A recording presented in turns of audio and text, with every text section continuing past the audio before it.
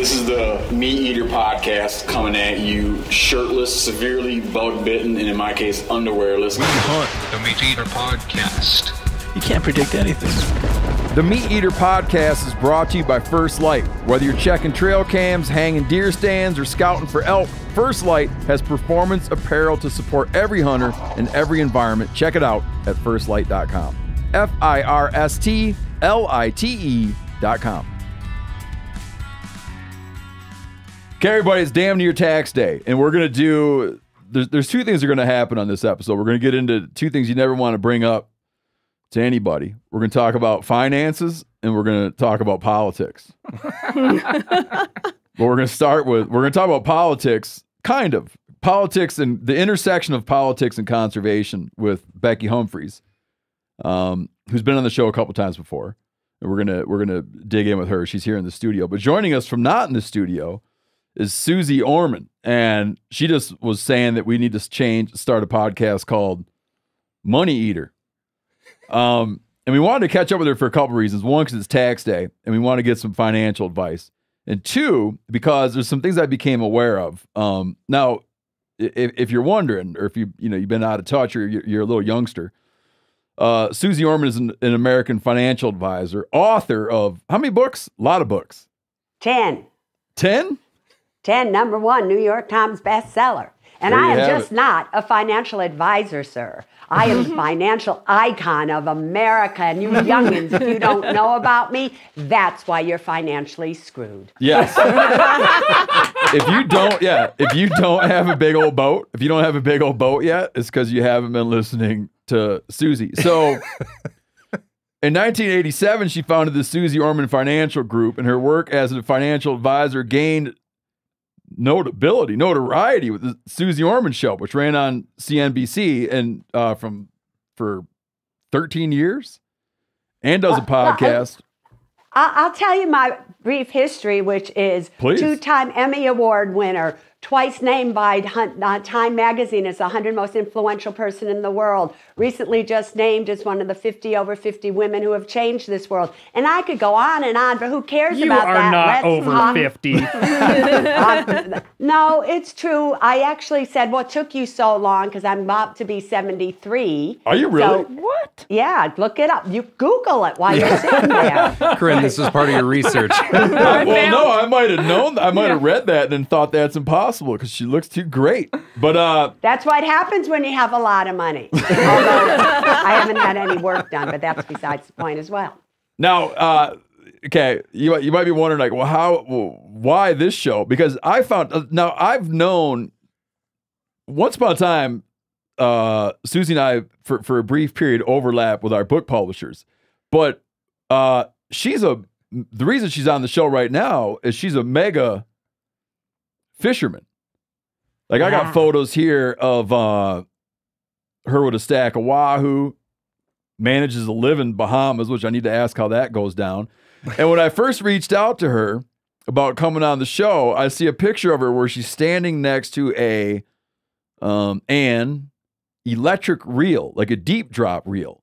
Now, normally, if you meet like a, you know, when, when you're talking to a famous person and they fish and you get their fishing picture, you're going to get a picture of them holding a fly rod with a rainbow trout in Big Sky, Montana, with a with a guide holding the net. or it's a marlin. Yeah, Right. but I was like, hold on, a minute, she's standing with a deep drop rig, and I was like, this is a legit fisher person. Have you always fished? No. So when I was 65, many years ago uh-huh. now, I had decided what would Suze Orman be if she didn't have the number one show on CNBC for 13 years or how many ever years it was, if she didn't have you know, standing ovations of 50,000 people at a time, if she didn't have this, that, that, that, that, what would I be if all of that went away? So one day I decided to sell five homes, quit my show, stop writing for Oprah, stop being on TV. Bam. And we got a boat. And then we started to go all around on the boat. And our captain of the boat, because the insurance company made sure that I had a captain, they wouldn't let me captain it myself, which I could have, which did not go well with me, but I didn't have a choice, was an avid fisherman. Okay. And so he would sit on the dock with us and we'd have these little fishes, and that's all he thought these two women could do.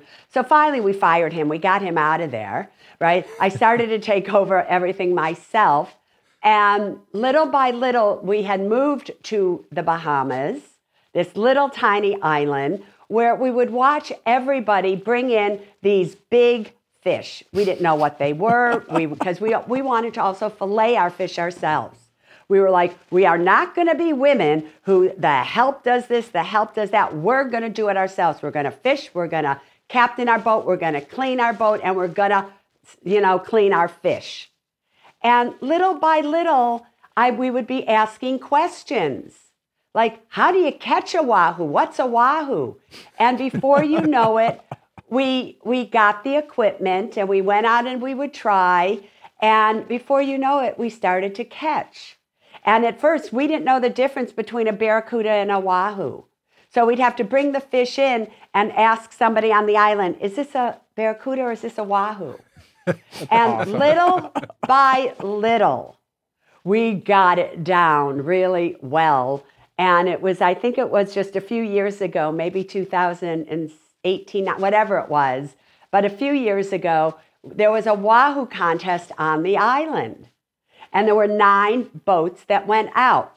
Huge fishing vessels with captains and all these lines. And we had our little, you know, 32 foot Boston whaler with just two poles. That was it, the two LPs.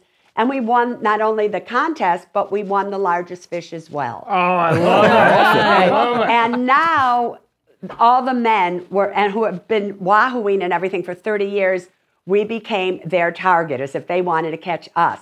They never quite have, but we've now well, I'm no longer known as the money lady, which was my nickname. We're now known on the island, KT and myself, as the fishing girls. And when we go out, you see the boats start to follow us because they want to know where are we going, what are we doing, and things like that. You're like the And- birds. yeah, right. They're watching for us. Or we'll be somewhere and they'll come up just to kind of say hi, and I know they're marking my spot. you know? So I'm always like, really? You have to pretend? You want my numbers? You can have it. You're still not going to catch here. Right? But, um, I love it. right right but anyway and that's how it started little by little now i have a massive lure collection a massive rod and reel collection um, and we use them all the time And The how are your reason we're fillet in- skills? Are you are you good at cleaning fish? Yeah. it's actually KT that cleans them, right? Because that's what she wanted to do. I didn't care one way or the other, to tell you the truth. she is magnificent at it. Cool. She does like clean. You hold up the thing and you could see through it. She's fabulous at it, right? Oh, and she's love it. she's and then we Cryovac it, and then we also share it with all the other people on the island, the islanders that work there. Oh, excellent. Now I got a question for you. Um, you mentioned getting up to a position where you you you got a nice boat. Now, one of our colleagues, Chester, um, we used to call him Chester the investor. His plan to get a walleye boat was uh, to throw in on Bitcoin. Yeah, good. I hope he did. Well, he did, and he got out. Ugh, what Got out a couple years ago. him? Right? well, What's tell your- him there's still time for him to get in a little bit now because on April 20th, there will be a halving of Bitcoin. So we should see it if the technicals stay the same for Bitcoin to probably go up into the 80,000 or so area.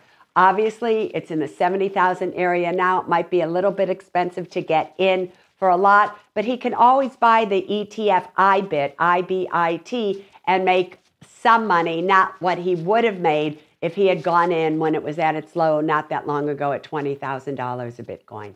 Well, let's Actually, it make was sure he tunes in. Yeah. how do you what, what, what's your take if someone um how do you advise someone like Corinne had found a segment where a guy was trying to figure out if he could justify the purchase of a twenty thousand dollar fishing boat when it comes to fishing boats how do you how, do you instruct people to think about what's too much Yeah, he should go on my Can I Afford It segment on the Women in Money podcast. Because at Oh, the end of every podcast, we have that. And I'll tell him First of all, there is nothing that is more expensive, and I don't care what size it is, than a boat. Your engines are either breaking. Everything on a boat today has a three year lifespan. That is it. Your batteries will go, your, your switches will go, your everything will go.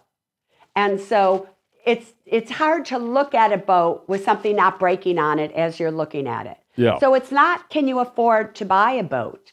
Mm. Can you afford the upkeep on the boat? Can you afford the insurance on the boat? Can you afford the gasoline on the boat to really do things? Because gasoline now is far more expensive than it was years ago. So you where are you going to house the boat? Are you living like in Florida or someplace that a hurricane could get the boat? So there's all these things that go into it. However, bottom line, you better have at least an 8 to 12 month emergency fund of what it would cost you to live and pay your must pay expenses, your mortgage or your rent, your insurance, whatever it is, so that if you got sick, you were in an accident, you got laid off, you would be able to pay those for eight months. You better not have any credit card debt whatsoever. You better be fully funding your retirement accounts to the max. You better re- be really so good when it comes to money. And then, if you have that, you already bought a home, whatever it is, all right, you can have a boat. Good luck. Man, I don't know if I feel like there's a lot of boat owners. That's that not what we want to hear, Suze. Right? They I may thought not you'd want say, to listen, hear it. it's always a good idea to roll the dice on a big boat. No, Because In you never fact, know. Here's what's funny, you guys. We've had a 32 foot boat now Mm-hmm. for since 2016. Right? We are going on eight years with the same boat. The men on the island, and of course they would, they think bigger is better. All right? So they have to go from two engines to three engines to four engines. They have to go from a 300 to a 450 to a 600. They're nuts. If one of them gets a bigger boat, the others all get a bigger boat. I have never seen anything like it. And then they say to me, Why do you keep the same boat? Why? What is wrong with you? One reason I keep the same boat is one of the reasons that I think that we are so successful in fishing, especially catching wahoo, is the wahoo, in my opinion, like the wash off the engines of our boat. Love it. Our mm. engines. And, you And get to stay out of what we call a boat measuring contest. Right. But, you know, I also just love beating them in a smaller boat anyway. So what's the difference? Well, that that brings up a great point though. Like when you go to invest in something recreationally, do you measure in the the mental benefit of being able to go do something you love? Is that a factor? Yes and no. It depends. Like, obviously, for somebody like me, I'm a seriously wealthy woman. And if I wasn't, I shouldn't be who I am to this day. So I don't measure bigger necessarily being what can I, cannot do.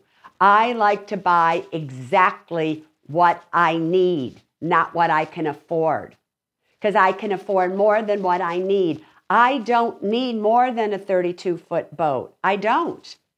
You know, it's just me and Kate. It's what I need it for. So just because I can afford it doesn't mean that I want to buy it. You used to be down. You used to advise people that that uh, eating dinner out was a real financial drain. Such a drain. It was actually in 2009, I came out with a book called The 2009 Action Plan because the economy was a mess. I was on the Oprah Winfrey show with it. We actually gave it away for free. Millions of copies we gave away for free, but there were a few things that I asked everybody in there to do, and that was to stop eating out for at least six months. I thought the restaurant industry was going to explode. They could not believe that I said that. However, there was a white paper done from Mint, which was a finance app, and the number one debt that people had when they had a lot of credit card debt, the number one thing they actually spent money on to be in debt was eating out. Hmm. So that's when that started with me. for me, myself, sure, I'll eat out if it's a business thing or we're away and I don't have whatever. But even when we travel, it's very funny. Maybe we'll go somewhere to do a speaking engagement and we go on a private plane. Okay. And now we bring our food with us and we check into the hotel. And even though the sponsor will pay for our food, we cook in our hotel room. Yeah. So we have a little hot plate. We do this. So I personally don't enjoy eating out at a restaurant just to go out and eat out, only because I just, I don't know. I think the food's better at home and healthier. Well, you That's don't what- even have to use a hot plate if you got Wahoo with you all the time. Yeah, well, we bring that as well because we love Wahoo sashimi. Yeah, Yeah, exactly. there you go. Right? Yeah, so so a lot. But if you're there for a long time, because sometimes you're a place for a while, then we had a w- little hot plate. We had a little, you know, fry pan, a little this and a that, and we'd go to the grocery store if we ran out of food and bring it. So it was always people would always laugh at us as they would see us checking into a hotel.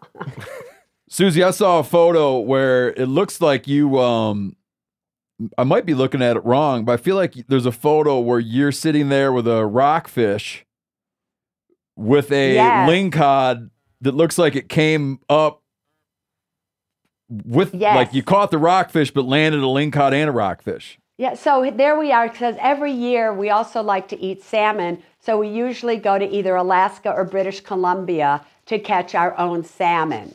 Great. And so there we were, and I was fishing, and I was actually fishing. I didn't even, you know, we had caught our quota of salmon and as and halibut. So I was just kind of fishing, and I caught something, and I'm bringing it up, and I'm like saying to KT, KT, this is I don't know what I got here, but I don't think this is just a rockfish because we wanted a rockfish in order to make tacos out of it. Yep. And all of a sudden, I bring it up, and it's a lingcod that bit it, would not let go, and so we caught both, and we bought both home.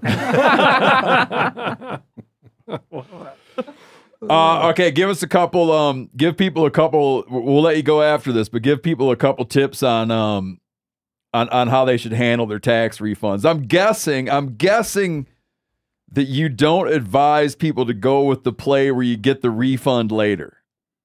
As good as that the feels. Thing, right? When interest rates were at zero percent, and there was nobody was making any money on CDs or money market accounts or anything, then I didn't have a problem with people getting a refund because they really weren't losing any money that way, truthfully. Yeah. However, now that interest rates in money market funds, and this will change, are at about four and a half or five percent, or there's places that you can put money that are safe and sound and get a high interest rate. Who wants to give the government an interest free loan over a year's period of time of about 5%? You have to be out of your mind. So you would be far better off now getting no refund, paying what you need to pay and not paying over it. So just come out so it's a zero. And in the long run, you're actually making more money. So that's how you make more out of less, to tell you the truth. So it's less of a refund, but in the long run, that extra money that they're keeping, you would just be able to take that money and put it in an account for yourself. Maybe buy some Bitcoin with it, just joking. All right. Suze Orman, thank you so much for coming on. Good luck on your next fishing trip. I really appreciate you joining us, and that's going to get everybody really pepped up and ready to do their taxes. All right, sweetheart. All right. Talk to you Thank you soon. very much. Bye-bye. Thank you. Bye bye. All right. Uh, oh, you know what's funny? Uh, so Becky, we're gonna. How you doing? I'm good. Did you learn anything there? No, Um, I don't own a big boat. I don't Oh. own just little boats, and Okay. and um and I try and balance my taxes so it comes out even at the end of the year. But I do have advice for people that do get a refund, okay. and they need to donate it to conservation. Oh, there you go. Yep. And and Theodore Roosevelt Conservation Partnership would be a great place to put it too. That's excellent. We're gonna, we're gonna talk about that a whole bunch. But I got to run. A, I, I'm gonna run a couple Michigan things by you, and then a neighboring thing, a, a neighboring thing from uh, a neighboring thing from Wisconsin. Um, a handful of things we're gonna talk about. But uh, just a funny letter that came in. So Pat Durkin, um, who comes on the show a lot, uh, the last outdoor columnist, um, he wrote a newspaper column last week. This is a while ago now. I'm looking at an old line, but uh, Durkin wrote a piece about the continued decline in Wisconsin's deer hunting population, meaning the number of people buying deer licenses in Wisconsin um, is going down, down, down. You might be sitting, well, why isn't my, why aren't my permissions going up, up, up? Which is a very long, complicated story, but those things do not uh, walk in tandem. Anyways, he gets a letter from a guy who it's one of my favorite letters. And the reason I like this letter so much is it just so happens that I'm leaving in two days to participate in Wisconsin's youth turkey season. But a guy writes in uh, who's who right in response to Durkin's column writes in and, and it's signed Dave, a Michigan pissed hunter. goes on to say, though Wisconsin, just like Michigan, has the same problem, and I'll tell you what, from a guy that has hunted all his life, when you turn over a gun to a kid and they're allowed to shoot any bucks that they want, and I've been hunting for the past 40 years, and I have to settle for what's left over, and you wonder why people are quitting, you take all the hunt away before the season gets to the big hunt of the big opening day. Most of the big bucks are already gone. You have so many hunts, kids, special hunts, bow, regular bow.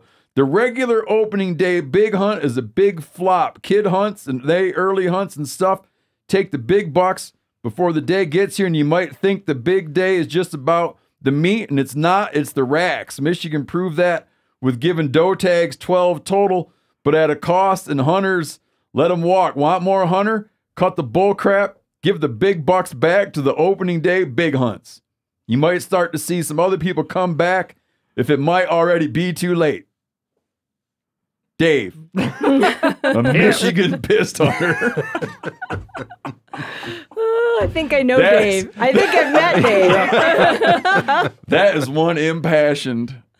That is one. I, I I assume you read it as it was punctuated. I tried to. Uh, help. Yeah, Pat was thinking it'd be a great T-shirt. I had the same thought. Like I have this T-shirt on of the guy that wrote in the story Just thinking about, about that one. Yeah, yeah. the guy that wrote in the story about the just some unseemly behavior he was seeing among turkeys in his neighborhood. And I think that that might be a great T-shirt. Hmm. You've met Dave. I'm sure I've You've met, Dave, all through your career, all probably. through my career. His cousins. There are there are more than one Dave in, in Michigan. Yeah. Big Well- family tree. yeah. I'll translate that. Um, I- I'll translate that and be that uh, they've done so much. Do I need to translate it? I think it's A little fairly. bit. Yeah. yeah. Yeah. Yeah. Now you got the archery season, and you got the crossbow season, and you got the youth But it's really the kids. And by the time it comes down to opening day in Michigan, November 15th, the big hunt, I like he calls it Yeah. the big the hunt. big hunt. Yep. By the time the big hunt starts, opening day of General Firearm, the kids have killed off all the big bucks. so if you're trying to wonder what happened to all the hunters, that's it. By providing special experiences for everyone, you may be diluting a singular experience that used to be for everybody. Mm-hmm. There's that was that saying, uh, "He who is a friend to all is a friend to none." Oh, Mm. And our memory gets a little cloudy too. Yeah. yeah. you know, I, I have a, a deer on on the wall of one of the bedrooms in my home that my dad's first buck my dad shot in Michigan. And it was a huge buck by his standards. It was a nine point about this big, you know? and the and the success rate back at that time when he shot that for firearm deer hunting in Michigan was about it was below thirty percent Hmm. for the entire deer season. You know, Michigan has been over 40% for quite a while now for firearm hunters in terms of success. So, and and our deer herd, you know, the antler size has also gone up. But, you know, the majority of bucks out there, you guys know this, are young bucks. I mean, we exploit deer pretty heavily in this country, especially in the Midwest where you have an open entry system. So people take a lot of deer, there's no doubt about it, but the majority of your deer are those younger deer. And I think sometimes our memory gets a little faded on the glory years and what it looks like. Not that that happened to Dave or anything. but, you know, the other part of it is we are losing um, more and more hunters as a percentage of the population. And you guys know this. Yeah. And, you know, it threatens our our acceptance out there. It threatens our our clout as in politics and voting and regulations. And and quite frankly, I you know, I'm more than willing to give up that big buck for a youngster. Um, hmm you know, I by the time you get to Dave's age, hopefully he's taken a few nice bucks. I don't know if Dave has. I don't know if Dave has either. But, you know, hopefully you have and you've had that opportunity. But it is about maximizing opportunity out there for a lot of folks. And and Michigan during those glory years, Michigan had over a million hunters. They're down under half million now. what? Uh-huh. And so with that, your you know, your competition out on the landscape overall is down from what it had been. Yeah. But I think greater fragmentation of the landscape, right? Which is Yeah, of greater fragmentation. We used to see in Michigan, Michigan carried most of their deer herd in the upper peninsula and the northern lower peninsula. And everybody had their little hunting camps and the rest of it. Now, the majority, we kill more deer in southern Michigan than the UP and northern Michigan combined. Wow. It's just, you know, we've seen this, you know, and not only Michigan, you see a lot of deer down in Indiana, Illinois. The deer population, quite frankly, is much higher than it had been 50 years ago. Becky, I didn't do a good job of introducing you yet, but I'm going to do that right now. Um, Becky Humphries is a longtime biologist, started her career at the U.S. Fish and Wildlife Service, then worked her way up through the Michigan DNR to become the director of the Michigan Department of Natural Resources. Spent time at Ducks Unlimited, ran um, national, uh, ran, ran an NWTF as the CEO for how many years? CEO for five years. So five years heading the National Wild Turkey Federation. And then right now, and I owe you big thanks on this, has stepped in as the interim CEO of the Theodore Roosevelt uh, Conservation Partnership. And there's a permanent search underway, but you That's very true. graciously at very short notice came on board to to run the organization during the interim. So I owe you huge thanks there. Well, thank you. Uh, it's a great organization, as you know. We both sit on the board, and um, you know when we lost our CEO in pretty you know short order last last winter, uh, it's one of those organizations you don't want to see flounder. You want them to have a great CEO, and you want them to have great leadership. So it was an honor to be asked, and and quite frankly, I was failing retirement pretty much anyhow. so I'm going to try again. You know, try, try Well, again. you'll, you'll get, you'll, be- you'll get to retire again. Yep, yep. Uh, the uh, last last call on on live tour tickets. So the live tour starts next week. You're listening to this right around tax day. The live tour starts on on the 23rd. Live tour starts on the 23rd. Um, hang on a second. Let me pull this up. yeah, I Who's got the Who's got the dates handy? Here, I got it. One minute. One minute. Damn it. Okay, ready? April 23rd, we're going to be in Mesa, Arizona. For people not from Arizona, that means Phoenix, but not. April 24th, San Diego, California. April 25, Anaheim, California. April 27, Sacramento. April 29, Salt Lake City. April 30, Boise, Idaho. Then May 1, Missoula, Montana. May 2, Spokane, Washington. May 4, Portland, Oregon. And then closing out the show, Cinco de Mayo. Is that right? Yes. Uno, dos, tres. cuatro. Cinco de Mayo, May 5th, Tacoma, Washington. Yeah, uh, a couple of things for folks searching for tickets. Be sure to either go through the meateater.com events page Yep. and hit those links or The venues. the venues. Only those two places. If you just type in uh, these shows in the Google machine, You'll want uh, you want the resellers. and it is grossly expensive. Yeah. So go go through the meateater.com events page uh, or directly to um, the theater that is hosting the show. Uh, and then on top of that, if you want to try to win some tickets, there are pint nights hosted by BHA Oh, there you go. um, that precede all of these shows where you can actually participate in meat eater trivia. You can win a bunch of free stuff, including seats to the show. And including a seat on stage playing the game, right? Well, yeah, but we got to find. Did we finalize the game? Yeah. Oh, okay. Yeah. Get on stage, match your wits. Uh oh. Also, when you buy tickets, here, here's the other, here's the other tidbit. I'll throw in the last little thing. You can see it both ways, but when you buy tickets, it comes bundled with the Meat Eater Outdoor Cookbook, wild game recipes for the grill, smoker, camp stove, and campfire, brand spickety new outdoor cookbook that we have out right now. And I've been struggling a little bit because I'm starting to put some pictures from the book up on Instagram, and I and I'm like I put one up about um, I'm putting one up about in the beginning of the book we talk about like all this ancient cooking methods. Stuff dating back to the ice age and, and ways people did things. So when you open the book i realized that one of the first things you see is a marmot who's had all of his hair burned off which is like a, how small it's like how small game was cooked at a time. You'd burn all his hair off and roast it whole. And then you, its skin would turn like a case. Then you open it up and the meat inside was steamed. And I wonder when people see that, if they can picture that they're also going to eventually wind up later in the book reading about a charred lemon gin and tonic. So the or do old, they think they're like, what in the Yeah, the- hell? don't judge a book by its cover. don't judge a book by the first spread. Don't judge a book by the intro photos. Don't judge a Well- book by the singed marmot. I've been thinking about. I've been waking up in the middle of the night and thinking about those fish cakes we made last week from the Dude. cookbook, and now I think I'm going to wake up in the middle of the night and have this vision of a charred marmot. Well, think about charred lemon gin and tonics, mm. washing that charred marmot back.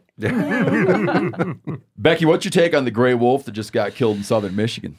Ooh, How's that for transition? That that's a quick U-turn. I don't, you know, I don't know enough about that particular animal to speak to it. Just but- it walked. It took it a went- hell of a walk, right? yeah, but I mean, it wouldn't surprise me. We wound up having a gray wolf that we had collared in the Upper Peninsula that walked to Missouri. Yeah. You know, so I mean, wolves. That sucker crossed the Mississippi. yeah. I mean, it crossed a hell of a lot of territory between. Do you think it ran on a bridge? Probably swam. That's a big swim. It could be a big swim, but you know, um, who knows? You know whether it probably, you know, they can swim well. We know that. Mhm. Um, and we know they cross ice bridges whenever there are ice dams, and we know we know they'll cross bridges too. You know when they when it's low activity and the rest of it. So, um, we've had we've had wolf sightings in the northern lower peninsula during heavy freeze over. You know across Coming the across bridge. the ice, yeah. Yeah, and so they come across the ice. We just haven't been able to see find a den or anything, you know, in the northern lower while I was still there. So it doesn't surprise me. I mean, we've had black bear in southern Michigan for well, 30 years now. Yeah, you we know? got a lot of black bears in central and northern Michigan, you know. We do. We do. Um the wolf was killed by a uh the wolf was killed by a, a this is odd, was killed by a guided coyote hunter. There was a guy on a guided coyote hunt. Killed an 87 pound gray wolf. They're holding the body. You know, gray wolves are federally protected. Yeah. Um, in there, and they're holding the body for a necropsy. And I think someone said, I think that we'll find that it was shot. but also checking its uh, parasite load and maybe try to get some idea where it came from. Yeah, they'll probably do DNA testing on it too. to Yeah, I'm who- sure oh, there's a see who it's pretty good to. Mhm. DNA database, right? So they can tell Yeah. who's breeding with who and Yep. where the kids go. Before the show started, you and I talked about another Michigan thing I'd like you to speak to, and you said you were disappointed on it. Um, I've communicated with uh, folks from Michigan United Conservation Clubs on this. Is that that explain how coyote management just changed in Michigan? Well, the commission, Natural Resources Commission, just voted to close down the coyote season for several months of the year. Up until now, coyotes have been legal to be taken at any time. But how far back does that go? Oh, it. Let's see. I probably we probably made that change in the 80s or 90s Okay. as coyotes moved into southern Michigan and, and populations, we really saw a big increase across, you know, most of Michigan and across most of the Midwest. Coyote populations took off, and and people were seeing dam- damage from them, um, depredation, and so with that, we opened up, you know, the ability to take coyotes just about any time, all year round, and so this shuts it down for a period of the year. Now, here's let me give you my two different ways of looking at it. hmm One hand, on one hand, I, I had a hard time getting worked up about it, the change, because I was thinking to myself, um, they are at they are pursued as a fur bearer by trappers. Okay, They are. trappers and hunters. hmm And if you go back any length of time, I mean, before the real big, big ex- population explosion in the South, I mean, they were just like a, a, a staple fur bearer and were viewed as such, right? That's true. Uh, Red Fox, open, what season opens October 15th, whatever the hell it is. There's a season uh, raccoon, depending on where you're at in the state. You might have a uh, November 1 opener on raccoon. Uh, Quick context: muskrat, we have a, otter, beaver. a beautiful coyote hide, um, Oh, in in prime condition, at like seven hundred and fifty bucks on the auction house oddities right now. yep, right off this wall. But it- to the point that you were making, it's taken during a season where that hide is Prime. prime. It's, That's it's right. full of fur because it's cold out. December, January. Was that yours from Montana? It's mine from Montana, Okay. from the winter season, from the wall of the studio here. Hmm. That makes you realize this is One like of good, those is seven fifty. good chunk of money. Right now right they're there. one, two. They're like. But there's- four there's a the time- I How many are there? I know. Uh, Corinne's gonna start. Now I'm going to start. There's a time in the season where that hide is not prime because it's warm and it's much more thin and it would not command the same amount of value on like an open fur market. Yes. And So I won't argue with you there. You don't want Well, you to gotta, you gotta let me finish making yeah. my two points. Okay. All right. Number one. That was the number one point. Yep. I couldn't get worked up about it because of that.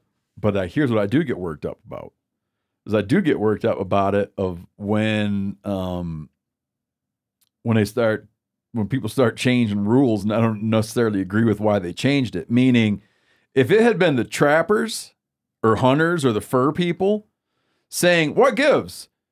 Um, why are you guys killing coyotes in the spring when it's pup, se- it's pup season and they're, they're not worth anything to anyone anyways? Why not leave them for people that that that want to utilize them or make a few bucks on them later in the year?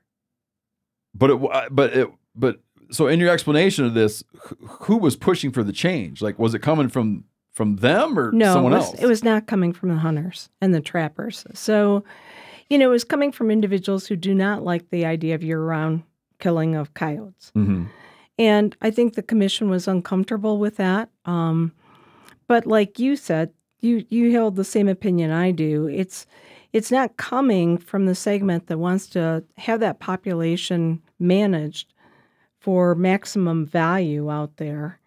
Um, it's being taken because we don't like the thought of taking coyotes at that time of year. So what's happening now is for individuals who have chickens or individuals who who are out there and have depredation issues. Now they've got to go through getting a permit in order to take those animals out of season.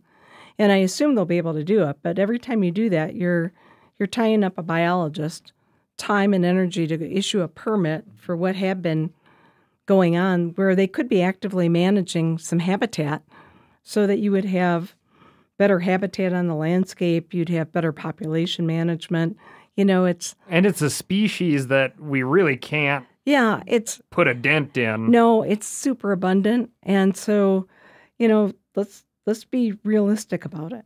Um, you know, it's it's one of those situations where people might not like the thought of it, but it's it's part of reality that coyotes do get in trouble. Um, they do cause depredation issues for people out there. Uh, Doug Duran uh, points out uh, correctly so that um, the pro argument for year-round coyote hunting is it's a super abundant resource. Is. And the anti argument overlaps with that also, where it's like it's a super abundant resource, uh, and hunting hasn't been proven to dent that resource. So why are you hunting it? Mm. Because hunting isn't Yeah. managing the population, Whatever you're doing is not working. right? I can see that Yeah, argument. yeah, yeah. That that's one of the that's like a little bit of a tongue twister when it comes to coyotes is you'll often have people point out that that with, with when you're hunting coyotes you'll offset pack dynamics. And it'll actually lead to fragmentation and more pup production meaning you'd have this this hierarchy that had some sort of limit on who's reproducing. And then as you if, if you kill dominant animals you cause these like splintering factions and, and it generates more pup production. So kind of being a smartass you might say well if you love coyotes why would you not want coyote hunting because you love coyotes and it seems to be really making a lot more of them you know? Meaning i love deer. If i found that there was something hunters were doing that was like producing tons of giant bucks i would be like please continue. Let's continue this. because i love these giant bucks. But they're saying like i love coyotes. Don't kill coyotes because it just makes more coyotes which is like i said it's an intellectual tongue twister I think it's less that they love twister. coyotes than they don't love the idea of killing coyotes. i think that that's Yeah, I think right. so too. And and it's not just coyotes; it's canines. I mean, we see it with the wolf population too. Um, we've listed and delisted wolves over and over again in Michigan and the Western Great Lakes population. And you know, the solution when we had depredating or when we had problem wolves that were getting in and causing problems when we couldn't do lethal take, and there was a time when we couldn't, was to trap those wolves and move them. And where are you moving them? colorado You're moving them into the territory of another pack. Got Yeah. oh Where they're going to get, Get shredded. brutally it's basically like a dismembered. death That's it's, right. a, it's a death sentence It's a it's a brutal death sentence. You know. yeah, I think that's inter- yeah One interesting thing we just just saw it with this uh, wolf that, that got killed in, in southern Michigan is um, the success of the anti uh, killing of wolf party is a, the death of an individual animal is a paper thin degree away from the extirpation of the species as a whole. So when you talk to somebody, well, they just killed a wolf. They're going to kill all the wolves. Hmm. Where it's like you just whacked a white-tailed deer with your bumper for the seventh time this year. yeah. Yeah. That doesn't equate to killing all the whitetails. Nope. No, and those charismatic species are special. so uh, who are you going to vote for for president Oh my goodness. when you when you were at when Speaking you were of at charisma, yeah, Yeah, when you were yeah. at uh when you ran the the fish and game department in Michigan uh-huh. um in a role like that how how do you grab like in a role like that how do you how do you how do you got to handle partisan politics Well, you know, first of all, as a as a state employee, which I was, you got to be real careful. You can't get engaged in partisan politics. Uh-huh. You can't do, you know, you can't do partisan fundraisers that tie your name into, um, you know, advocating for one party or one candidate or another. You've got to be really careful with the Hatch Act that you don't engage in in advocating for certain I- issues that go to the public. do you, do you stop did you just do you stop voting No, you still vote No, I still vote. Yeah, Okay. and I vote. I vote primaries the whole nine yards. Um, okay And um, always have, always will. You know, I it's it's my right to help decide who gets elected, and um, I think everybody should engage and vote how they feel most. You know, the candidates that best represent their views. but you keep quiet about it when- yeah, when you you're know, at, when you're in when you're in wildlife management at the state level Yeah, you really can't, you know, um well, I'll, I'll be honest with you. I worked for both Republican and Democratic administrations Mhm. and you know, it's tough because there's a lot of fundraising that goes on as you get into campaigns and get ready for election years and you and you wind up um, having to be very careful. I was I was lucky. I had a commission that helped do fundraising, you know, for gubernatorial elections when it was expected that cabinet members would do that, which I was a cabinet member. But as you know, as an employee, I can't do that. I can't get into the partisan. So very much bipartisan. You try and work with both parties. Unfortunately, that middle ground is disappearing Mhm. and it's it's hard and i i tend to be a moderate in my political views you know i step on both sides of the aisle i tend to be fiscally conservative and a little more liberal on some of the social issues and so be, between those trying to find that common ground you know is really hard because the parties have we've lost the we've lost the conservative democrats and the and the more liberal republicans they're just fading away Wanted something spicier than that, Steve? No, no, no, no, no, no, no, no. I'm not. Fr- I'm not frustrated with anything you're saying. I just, um, I feel that they're faded away. They're faded away from the areas where you hear from people. I think they're faded away in our elected representation. Sure, yeah. Because, you know, Yes, it- 100%. Yeah, yeah. Mhm. I, I don't think, you know, and I think we hang with people that tend to share our views. You know, they share our activities. So I agree with you. I think there are a lot of folks out there that are like me. You know, when I talk to folks, they they express similar views. And I don't think it's just because they're trying to impress me that we're so much alike. I think they probably do. But both parties have taken over so such non-overlapping issues. It makes it really difficult. I hang with people that share my activities, but then um, not the views. Oh, I I will agree with you there. Yeah. Some of my dear, dear friends, I feel have some just ridiculous viewpoints, but I forgive, I, for, I forgive them it because they like to fish. well, it makes for interesting conversations. And the older I get, the more now when I hear one, I don't even like. I, I, I used to be like, I'd, I'd want to argue it. No. Now I'm just like, oh, that's, Yeah. that's funny.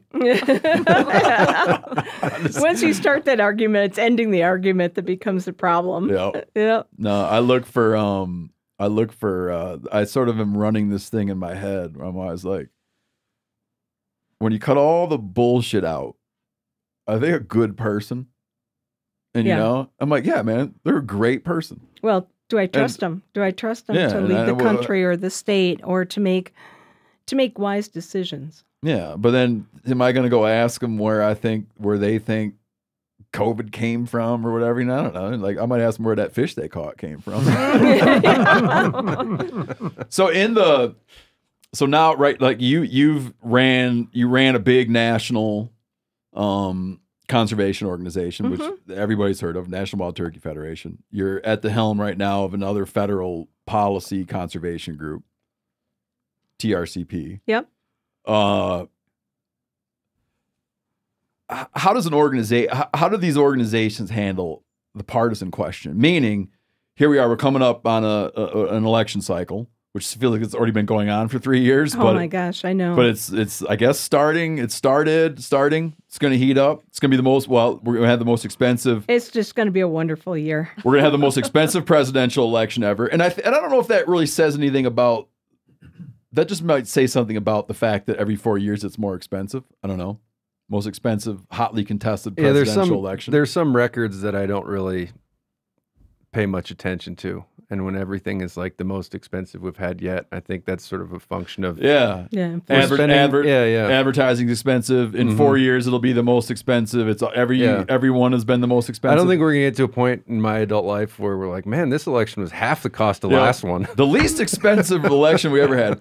I think though in state politics, especially uh, some of these Western states that do not have large populations comparatively, Mhm. that's where those those numbers matter. Like I look at the amount of cash that's going to be spent and is being spent on the gubernatorial race right now Yeah. relative to our size. Oh, Like the dollars per person. the dollars per person, And it's, and they're going to spend it. Yeah, it's dollars. Yes, not portions, not Yeah. fractions of dollars. And they're going to spend it, which means we are going to get robocalls, texts in you know just like Mhm. those political ads are going to be served to us every which way possible for and in in an increasing manner like it does not bode well for the mental health of montanans No, you know when and- uh when Davy Crockett was running for Congress, he would do a little thing where if you came down and voted for him, you you'd get a shot of whiskey. hmm You could with the money they're spending, you could they could hand out bottles of whiskey. yeah It is- Come on and vote. It is expensive. And and elections and campaigns have gone to micro targeting. Mhm. So they've segmented, you know, they can tell now how you vote, you know, even if you're in a state that you don't have to declare your party, they can tell by your voting record what you, when you vote, what you, which party you're most likely to vote for.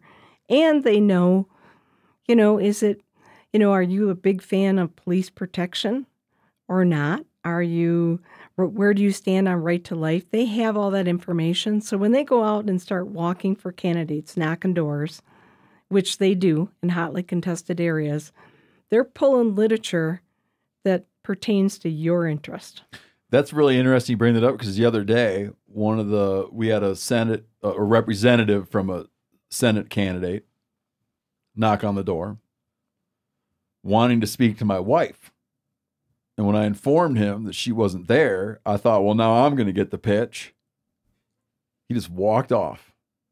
that's amazing He hmm. knew he knew who he was there to talk to. he to. knew who he was there to talk to. That's right.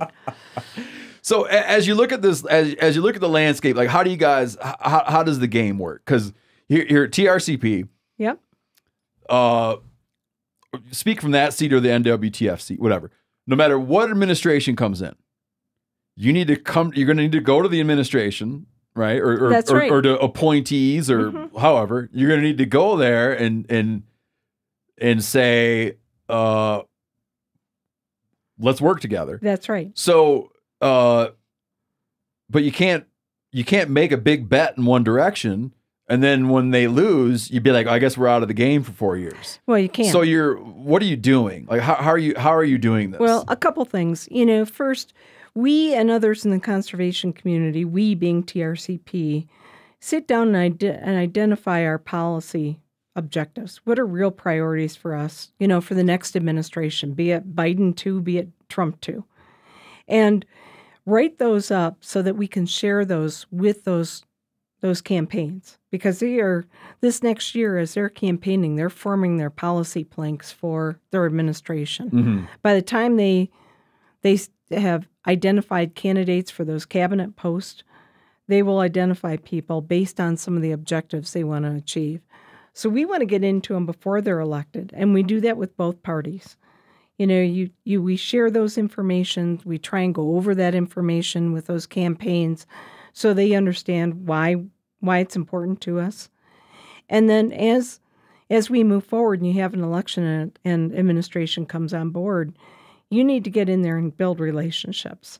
You won't always agree with everything. It doesn't matter what, what the administration is. You're going to disagree on certain things. But you need to have a working relationship and you build that that trust that they will share information on what's coming out so that you can prepare for it, you can look for it.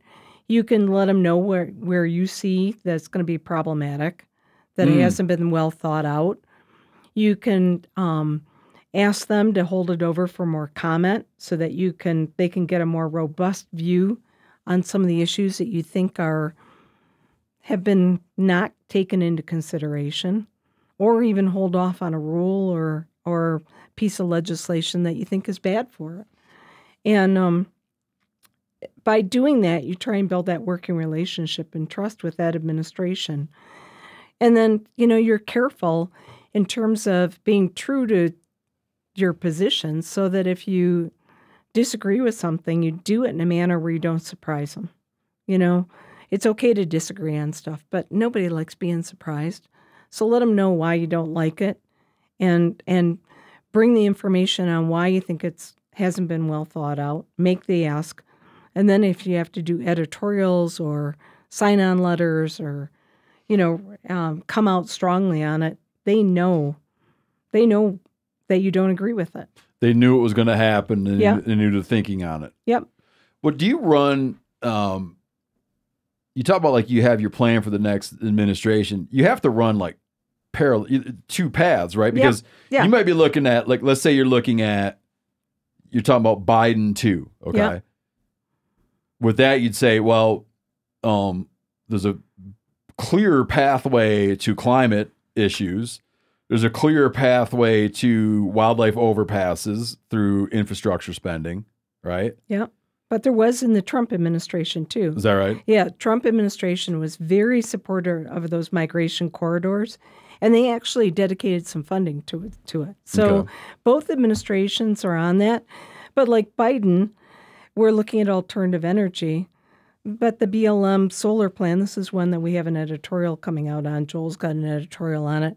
We're a bit concerned with Sure. with what they're identifying in terms of placement in those migration corridors for solar. Do you I mind? just, do you just mind? talked to a lot of Idaho folks who are real, Yeah. real fired up Mhm. because the BLM plan in uh, Southwest Idaho, the Owyhee down where Snort got bit, but there's also California bighorn sheep, super like the genetics for like that really wide ass mule deer buck Mhm. that down in that country and and big old pronghorn, sage grouse, So we very sensitive area. We're not opposed to alternative energy by any stretch of the imagination. I mean, we need to move into alternative energy. We just want it to be carefully thought out. You know, we need we need working landscapes that provide great habitat, but also provide, you know, clean water, clean air, food that we like to enjoy, and energy. And so, but it's about doing the pre work to make sure it's being placed in the appropriate locations that aren't going to have big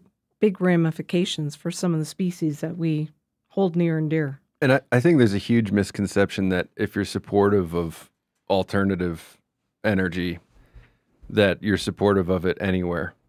And I think like from someone who, as a former TRCP staffer, like the the um some of the like the the sessions I remember of people really hand wringing and pulling their hair out were looking at maps of solar placement Yeah. and like there's people on the ground working for you know that were supportive of alternative energy but recognize the the threat and the danger of siting it improperly That's right. and so i think like there's a lot of back and forth if you follow the the discourse about you know it's either one way or the other way and there's people on the ground that are really diligently thinking about how do we stop this in places where it's going to have a huge impact on wildlife and and how do we do it responsibly And and we can have both. I mean, Yeah. that's the thing. When you look at the acreage requirements, we have more than enough acreage outside those corridors. Now there might be other species and concerns or landscape characteristics, historical significance, you know, a range of issues. But nonetheless, we need to take into account these really critical areas. Um, we saw the same thing in Michigan with wind power. You know, when we were putting up wind turbines, the areas that had the greatest wind potential were right where birds migrated. And it was, that's going to be problematic. I mean, if you're killing birds like crazy when they're, and we got wind turbines located all down the east side of the state, which is a major flyway corridor for migratory birds, that's a problem, you know? So we, you know, in that situation, it was about pulling the right expertise together, mapping it out, and, and looking at those wind maps and looking at that where those migration corridors were and finding solutions to it so you're placing alternative energy where it's going to be beneficial and not harmful to those species. uh, let me back up on a thing. Um, and I'm not I'm not trying to like drive you to give a drive you to give an answer you're not comfortable with, but I, I'm I'm just not clear on it. Yeah. When we talk about this this um like administration planning, do do you develop two or do you develop one and like you develop one plan for the next four years and you're presenting it to each campaign? No, we we do two Yeah. Um, I mean, for one thing, parties talk different language. Um, they use different phraseology, even though they might um, have the same issue, Mhm. but they talk about it in different terms. And so, you want you want the the particular party that you're going towards to embrace this and and use it. I mean, you want it to be their recipe book coming out. So you want it to be put in terms that resonate with other parts of that party plank and what they're doing. Mm-hmm. And so, um, and there there are certain elements that are going to be more attractive to one party over the other. Um, they just are. I mean, you know, by and large, you'll see more emphasis put on renewables with the Democratic Party, and um, security with oil security that's talked about more in Republican. Now, in reality, we just we have produced more oil and gas in this country with each administration, despite the party, in recent years. Is that right? Yep, hmm it's been ramping up. Like at a record high right Yeah, now in terms of oil produced in the U.S. hmm And Huh. people don't recognize that, but it's true. We have. It's part of our national security plan. Gotcha. I understand what you're saying with tailoring it and that. Yeah, and they're also and, there's probably cases where you're gonna there's probably cases where you're gonna drive at um there's probably cases where you're you're asking for the same thing but you're phrasing it as a different priority. yeah, and Totally. there there are also issues. You know, we tend to the Republican Party tends to be a little more states' rights Mhm. than the Democratic Party looks for national solutions um, on those issues. So, you know, that's another way that you're taking a look at it. You know, I'll, during the Trump administration, we saw a nice expansion in hunting and fishing on on national refuge Yeah, lands. yeah. And not only did they do that, but speaking as a state director, one of the things I really liked is they they put out a, a mandate with that the regulations were going to be as close to the state regulations as they could be. So before you had, if you were going to hunt on, you know, refuge land, you might have different shell limits. You might have different days of the week that there was hunting. You might have all kinds of different requirements that were a little different season requirements than what you had at the state on the state land and that just gets complex you know that i know that and so they tried to simplify that and bring the federal lands closer in alignment with the state regulations Do you feel is, is there any rumor or anything around um would Trump return to Barnhart as his interior secretary? Bernhardt. Bernhardt, sorry. Is it was it David? Is that his name? yeah, david yeah. Yeah. i don't know um hey, i do know that david has stayed very engaged in natural resource issues and um you know he was very loyal to trump um throughout the administration and even afterwards so Yeah. I, I you know i i don't know but i would assume he'll have some role in the administration I uh, heard a um a person very involved in conservation. I'm not trying to be like you know secretive. I just don't want to take a private conversation and, and apply it to someone. But someone very involved in conservation um, had said to me that what they what they liked about Trump's Interior Secretary, Part Two, hmm the second Interior Secretary, was that he would save you a lot of time uh, by saying, uh, buddy, you're not going to get anywhere on this with me. And it would allow you to focus on the areas where he said, let's have a conversation and would tell you what's going to happen yeah and then and then direct. stick with that. yeah And He it, he said it was it just was it was efficient yeah i mean to to to to spend time and resource there because you never wound up being that you wasted a bunch of time on something that you didn't know that all of a sudden you're going to read in the newspaper that things went in a direction you didn't anticipate. he was an honest broker in terms of telling you where issues were going if there was already a thought on it Mhm. So, and and he he had researched issues also, so he had a pretty good handle on a lot of the conservation issues out there um, in that administration. You know, one of the things people probably don't realize is a lot of the staff support that comes in are the same folks. So you'll have administrations where you know, a particular individual is in the administration, they're a staff person, and you might switch parties for four years or eight years, but then you'll bring back a lot of those people that had worked during the previous Republican or Democratic administration because they kind of know the party priorities. Yep. And also, they are very helpful in getting new candidates and new administrations in place and off to an effective start to move that agenda forward hmm because it's it's hard. Um, especially if somebody comes in from outside government, you've got to make an awful lot of appointments. You've got a, an awful lot to do to have executive orders written. And we've all seen there are more and more things being done by executive authority now. And administrations kind of flip flop and reverse each other's executive order right out of the gate. And they do that by bringing back people who are knowledgeable, know how to write executive orders, and are familiar with the topic and and have experience in it. We recently had a guest on talking about offshore wind, hmm um, offshore wind, you know, electric electricity generation. What's- How, how, how do you Yeah, wind power. wind power? At the end of the interview, I said, "So, you know, when Trump wins in November, where's all this sit?" And and he didn't have a great answer, but I felt like you could spend a lot of time working on something if you weren't being shrewd. You spend a lot of time working on something and then just have the rug ripped out from underneath you every four years. Oh yeah, and and that's why administrations work so hard to get reelected and have at least an eight-year runway, because it takes, you know, it takes a, really a couple years to get administration in and rolling to get all your your appoint appointments confirmed and in there and start to implement that policy direction. And by then you're into the next election cycle and you're campaigning.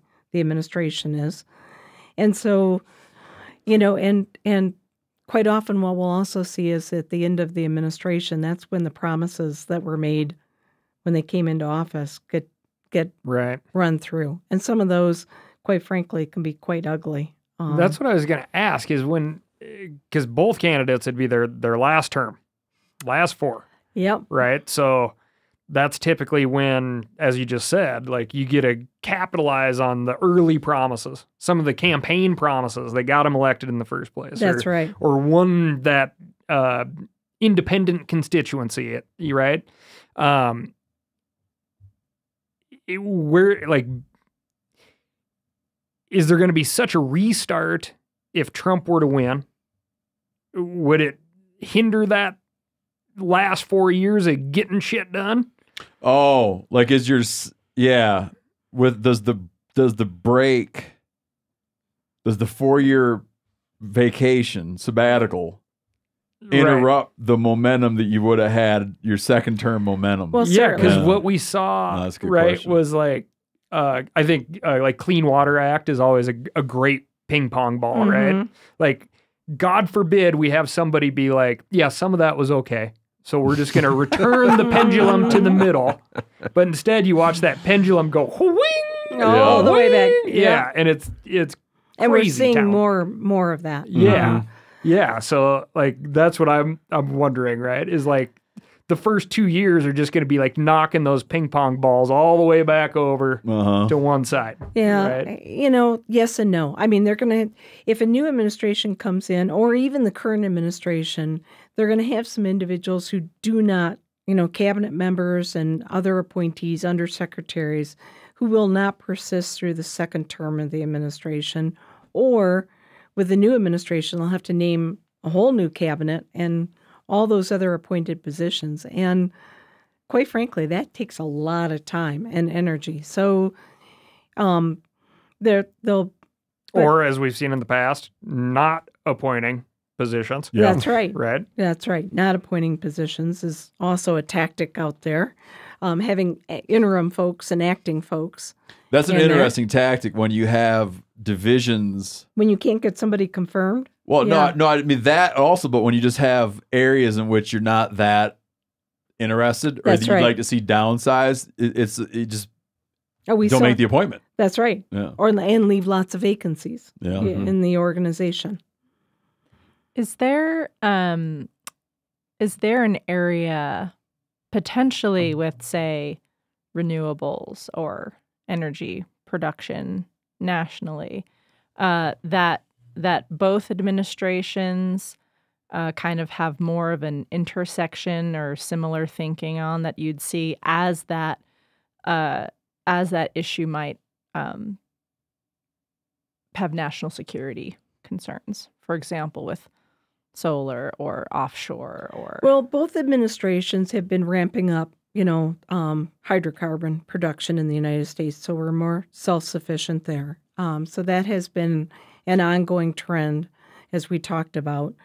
You know, um, I think yes and no. I think I think you're going to see both administrations wanting to get into market-based incentives that are out there. I mean, we've got to be able to make carbon part of the economy in order to treat it effectively. This is my two cents. I mean, we it doesn't make any sense to have national forests that are going up in flames mm-hmm.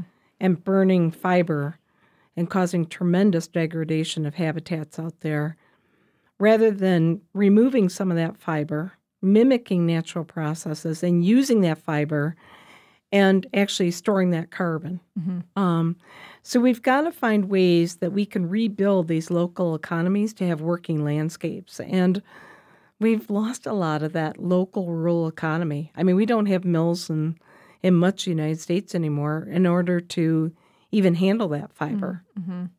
Part of our problem with um, you know, there's been concerns with prescribed fire on the landscape because there have been a couple fires that have gotten away from the Forest Service or state agencies that have been using it. But are we're using prescribed fire sometimes in cases where it it's very different today than it used to be. Where you know you might run fire through an oak savanna or a pine savanna, and in one day you you know what the conditions are going to be. We can go out there and see what the humidity is. We have good weather satellite data. Now we've got big piles of logs that we have no mill to run it to. We got no log haulers to haul it to. So you got this huge pile of logs that are been cut and they're just stacked on the landscape. And we're using prescribed fire then to burn that pile of logs. Well, what happens to mm-hmm. that prescribed fire window? You know, anybody's had a big bonfire, you know, it goes from a one day fire Right. Eventually, you're standing around being like, "Oh my god, is this thing Yeah. still Yeah. going?" It's a I've got stuff to multi do, yeah. multi day fire, and then your chance of having fire escape from that. You know, you have winds come up and unexpected weather situations. When you have a big, big inferno going like that, you can't just kill it.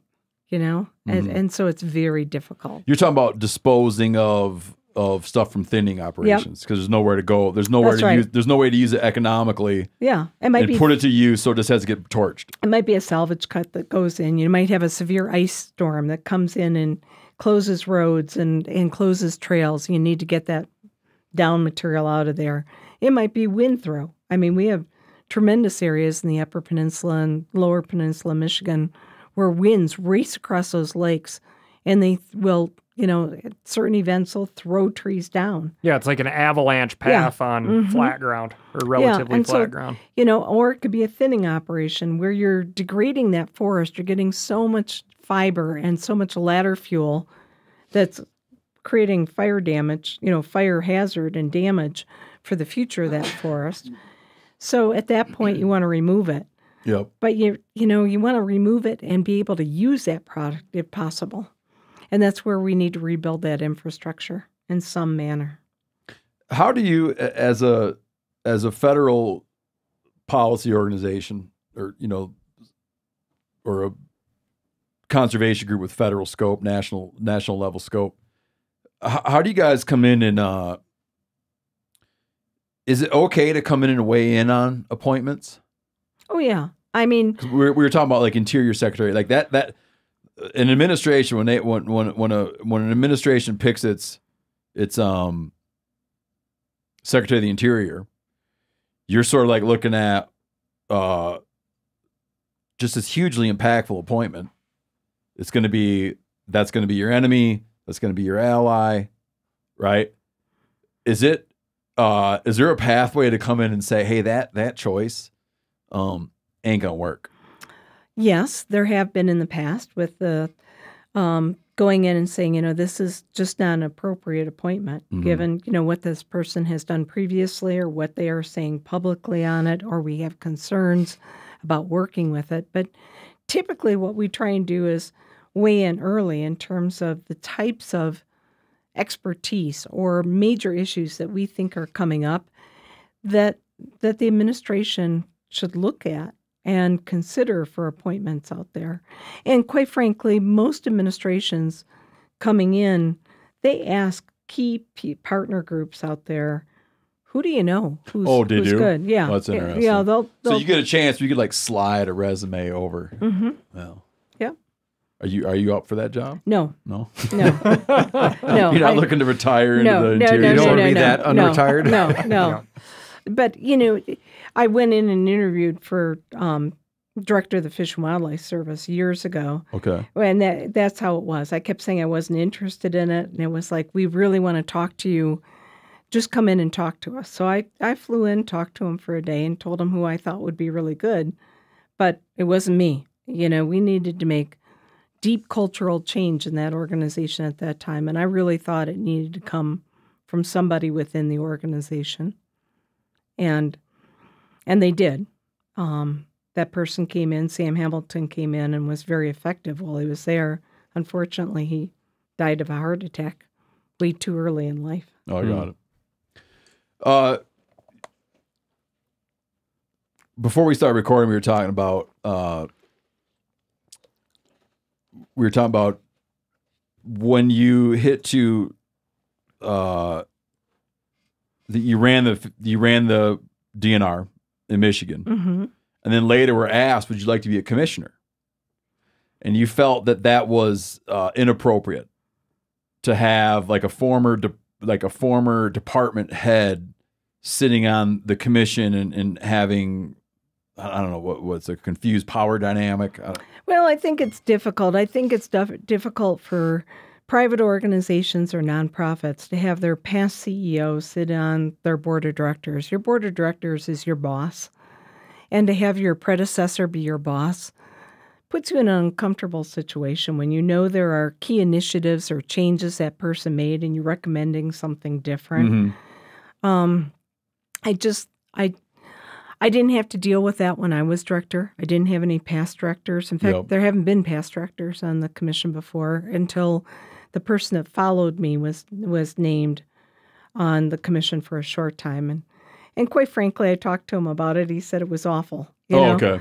You know, and the groups try and use you also. Um, you know, I, I get called now on issues where the sportsmen's groups don't necessarily agree with the decision and they want me to come out and publicly weigh in on it. Oh, And, you know, I'm not so sure my opinion at this point is any more important than anybody else's opinion out there.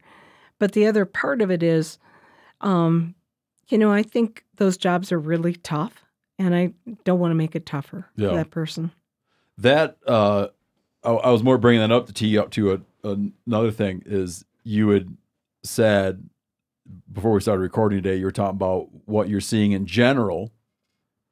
Um, I'll have you put it in your own words, but like a general erosion of commission authority. Can, Yeah. can you explain? Can you real quick tell people, you know, speaking from that you got 50 of these things, like what are commissions and what do you mean by commission authority? Well, commissions, natural resources commissions, and they sometimes are called fish and game commissions, but typically they are appointed positions appointed by the governor. And then they are the body that either hires the director of the Department of Natural Resources or Fish and Game or whatever it's called in that state, or um, they are the decision maker on on hunting and fishing regulations. So you've got this this public commission with appointed people that help help insulate the departments directly from the, the governor's office. So even though you're part of the executive branch, you know, you don't you have a little bit of buffer in there. And they also provide some real transparency because typically those commissions don't pass regulations, they don't hire directors without public input. When I was hired, my interview was televised. So it was, you know, it was a, a very public process um, that went through in terms of selection. Did they ask what your spirit animal was? no, they didn't ask what my spirit animal was. They asked an awful lot of other questions, though, I got to tell you. And, um, but, you know, that, that process of gathering public input on various regulations is really important. And we are seeing now more and more um, directors are selected not by the commission but by the governor. They become gubernatorial appointments, which occurred in Michigan when I was there. I was the last commission appointed and the first gubernatorial appointed director.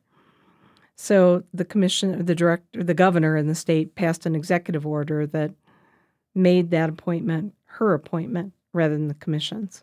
because they just didn't like what they were getting from the commission because they Well- wanted to be just like more an instrument of the administration. Like, what is the push? I think, you know, I think they, you know, what I heard was you want direct accountability of your cabinet members, but I really think when you get into office and you name your cabinet, you want to be able to name those cabinet members so that they're all people that are affiliated in helping move your agenda forward. Mm-hmm. And what the second thing that has happened with that, though, is the tenure of agency directors has shortened. Now the average tenure is less than three years. Well, it's hard to manage natural resources that have, you know, long history, mm-hmm. lifespan, scientific, the whole nine yards on really short rotation.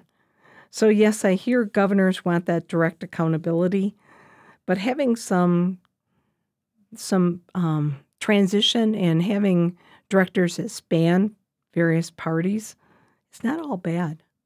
Mm-hmm. It's good. I mean, in my opinion. And I think having the commission in there, and most of your commissions are required to be bipartisan.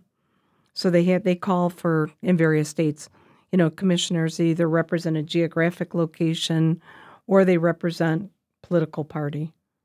Yep. Or or uh, in, in or factions of industry, Yeah. meaning Yeah. commer- like guides Yeah. and out guides and outfitters, commercial interests, Forestry, whatever, agriculture, you name it. where you're trying to strive Yeah. for some level. And I think Mm-hmm. that, and I've heard, um, and maybe it's just a tradition in Washington, but regionality. Yeah. yeah. I think you, you specified regionality as well. Yeah. Um, Because there so are many from the you know west are- of the Cascades, east of the Cascades. That's whatever. right. Yeah. So- uh, oh, go, sorry. Go ahead. But with that, what we're seeing is those commissions are both their authorities getting nipped back, you know, sometimes through state law, that, Mm. you know, legislators are trying to enact laws on taking of game and fish Mm-hmm. species or the method of take. And then the other way is they're losing their authority to appoint also. Appoint. point. hmm Appoint your directors. The director. Yeah. Mhm. Got it. And and you generally um, are uneasy with this. I am. I think it creates more partisan politics into the natural resource arena. And I think it creates more of these shifts. And just like we talked about with executive orders that swing so far one way and then the other way, you know, that's that you waste a lot of time and energy. Yeah. know, be like, ladies and gentlemen, we're all in on renewables. Then, ladies Oh. and gentlemen, we're all in on hydrogen. Slow down the pendulum a little Yeah. bit. Yeah. uh, just, I, I got a last question for you that's a little more complicated, but uh, just an observation about the the, the wild pendulum swings. On, I mean, people people like to bitch about gridlock, but I always like to remind folks that this is quite intentional. Um, you know, we could be like Venezuela, you know, hey, we're communists. And then like a couple months later, hey, we're ultra right. Hey, we're back to communists. I mean, there's a you know, when people bitch about gridlock, It's going to have a little effect on your bank account. when people Yeah. bitch about gridlock and all this, it's like it's this is in, intentionally constructed that we don't go down wild ass that you, you you can't harness the moment and go in wild directions all the time. That's right. And So, so, I don't like I, I I get aggravated about the things that I want to happen that don't happen quickly, but in general, it's like it's But some, as long as some stability. The other people's stuff is going just as slow. It's better. yeah, Well, I- actually- well, if I don't get what I want and they don't get what they want, then I feel okay about it. Our issues tend to do really well though during gridlock. So I- you know, here's the other part of it is we might get frustrated, but we are usually um, highly effective when Congress or state legislatures cannot agree on issues. Our conservation issues usually do really Hmm. well because You can be the, the awesome person who says, hey, I got something that everybody will like. Yeah, and it's That's like exactly you're, not- you're, you're like there's Here's no the- there's no like hot button social issue wrapped up into it. Well, that's right. I Yeah. mean, in, in DNR, we used to call ourselves the Department of Fun. Who doesn't want to support the Department of Fun? I mean, you have hunting, you have camping, you've got timber industry, you've got fishing and Yeah. and hunting and, and wildlife viewing. So, I mean, but most of our legislation we work in a bipartisan manner anyhow to try and get things so that you have both sponsors of bills on the right and the left, Mm-hmm. and then introduce those and try and keep them fairly evenly matched. So those we tend to be highly successful during periods of gridlock when Congress can't deal with the other stuff. And they need to have something That's they can. right. They need to have They something to bring a they win can point home. to. Yeah, Yep. they need to bring it back to their I- constituents. You know, I supported this bill, and That's right. yeah. Uh, here's one that's li- this. Here's one that's more complicated. It's not complicated to answer. It's complicated to ask. Uh, everyone loves to talk to gripe about ballot box biology, ballot box initiatives, and also uh, I find this is an area that really accentuates a lot of hypocrisy. Meaning, um, I'm very supportive of the ballot initiatives that guarantee the right to hunt, trap, and fish. Okay. So I'll be like, hell yeah, vote yes this November for your state's right to hunt and fish. Okay. Then the next time some a ballot initiative comes up that I don't like, I'll be like, there you go, damn it. Ballot box biology. Right? Putting That's it to the voters. That's not how you do it. But a minute ago I was just advocating, you know what I mean? A minute ago I was just saying I When you was can get the uninformed masses Yeah. to vote your way, it's a great thing. So people love right, like everybody complains about it, but they complain about it only when there's a ballot box initiative that they hate. True. And when there's ones they support, they're getting out the vote. Well, it's like people don't really complain about judicial activism when the courts are finding in their favor. Sure. You know, Yeah. so here's the question. That, that was just a that was just an observation. Is it really is there more of this now than there was, or is it just always been this way? I mean, is there really more ballot box biology and ballot box what whatever? Wildlife management. Yeah, I think we go through waves. Okay. To be honest with you, I think there are periods. You know, when I think back through my career, there were periods where we had ballot initiatives that we fought and that we supported, and then you'll have a quiet period for a while, and then it creeps back up again. So it's usually when there's an action and a reaction Mm-hmm. that's out there, and Oh, like I'll show you. that's right. I'll give you a ballot box initiative. But we have seen some of the national challenges towards hunting and fishing. We have seen those been direct campaigns that are now being fought at the state level. So I think you see more activity to try and restrict and also promote hunting and fishing at that state level than we used to do, um, where it used to be, you know, we had more national legislation and the rest of it. And so there's more activism at that state level. Okay. So that is a thing. Yeah, I think so. Because you were saying earlier that big bucks, all the giant big bucks and no one after them might have been a bad, might be faulty memory. Might be faulty but the days back when they weren't ballot box initiating wildlife decisions is new-ish. yeah, I you or, know or it's expanded. You know, I remember we had we had some back in the 70s, but then really in the 90s it really came alive and then we've kind of seen it dying down and now it's it's you know, we had periods across the country where there was a big push to to do ballot initiatives to protect the right to hunt and fish. Mm-hmm. Um and now you're seeing challenges again. Yep. So, and we're seeing a big push right now in several states for trying to advocate for these commissions to have appointments that are non hunters and even anti hunters and anglers. Yeah. Zookeepers. Yeah. Oh, we got a. Uh, everybody's got an interest in the state's wildlife, Yep. so we need to have those interests represented on the board. Uh, unfortunately, like that, never you never get to ask the question. Well, are their interests not being represented currently by our current management plan? We never get to ask that. So what what is the impetus, right? Mm-hmm. Well, yeah, I mean, they're managing far more species that aren't hunted and fished than are. And have been for quite some time. Yep. Let, let me give you one last question. Then, then these guys might have a last question. you're not going to do the who are you voting for again, are you? oh yeah, who are you voting for? How do you handle that? I'm voting for my daughter. She's running for county commissioner again Oh. this year. See, there you are, partisan politics. Nepotism. How do you handle that question? Let, let, let, let's role play for a minute. I'm uh okay, I'm I'm uh running for president. Okay.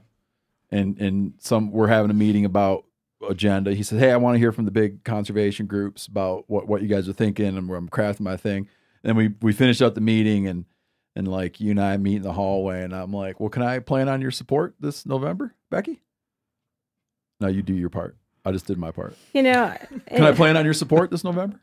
if it's a candidate that I was already planning to support and I felt was the best candidate, I would probably let that individual know that I was going to support them personally, not as no, the you got to organization. do it in the role play way.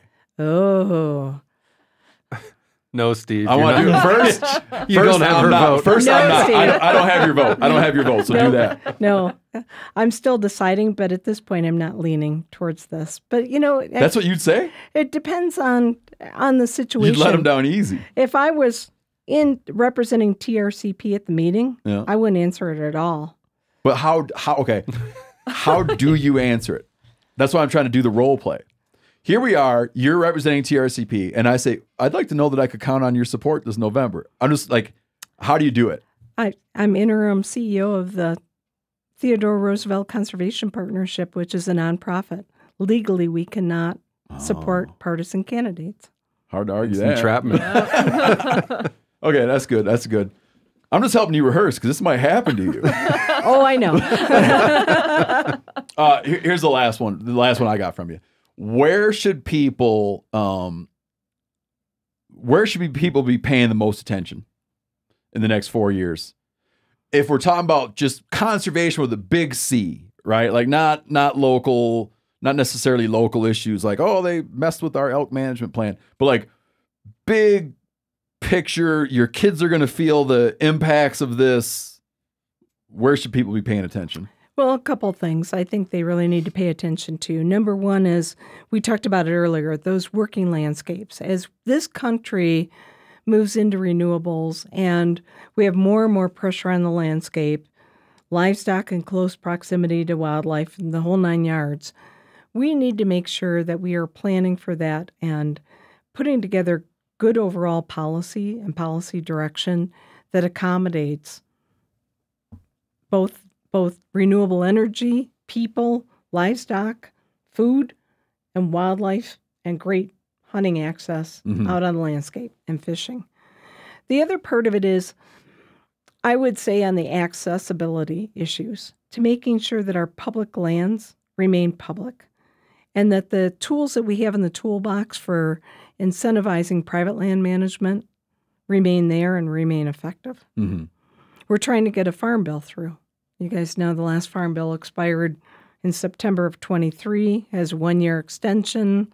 It's going to expire again in 24 later this year. And that is the biggest piece of conservation legislation usually that we ever pass.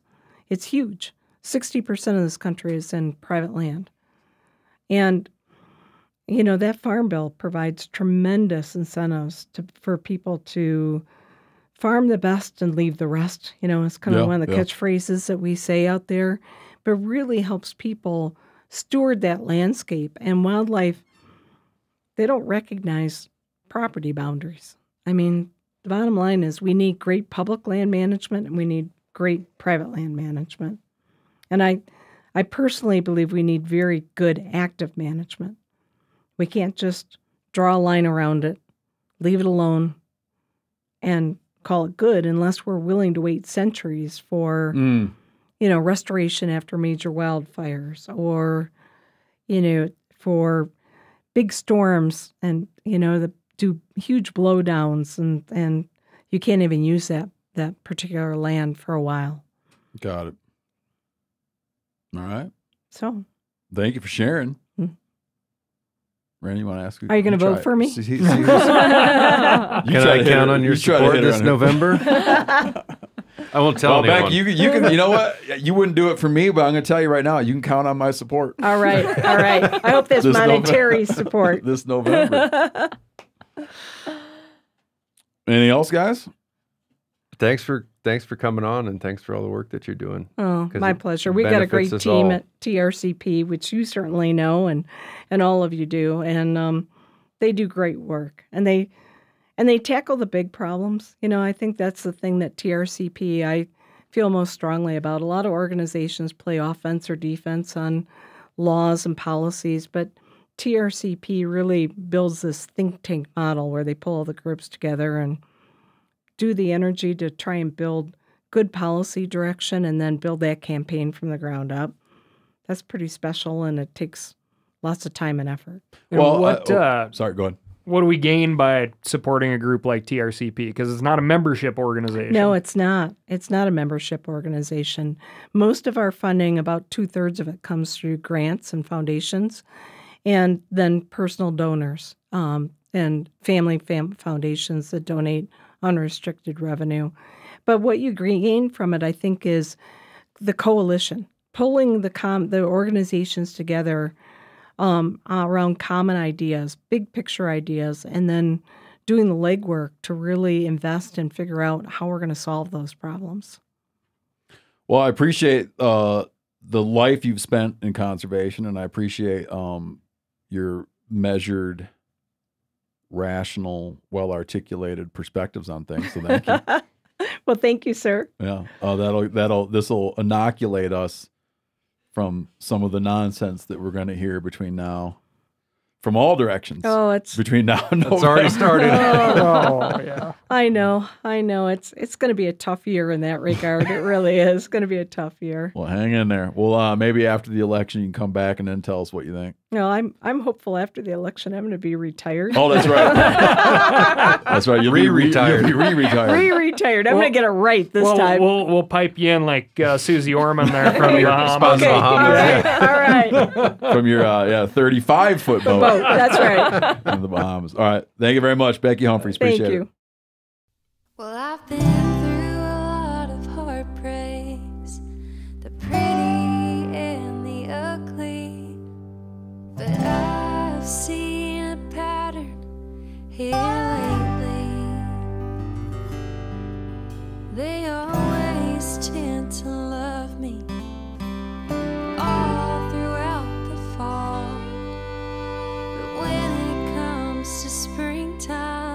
start dropping like they're flies. They only want me for my hunting.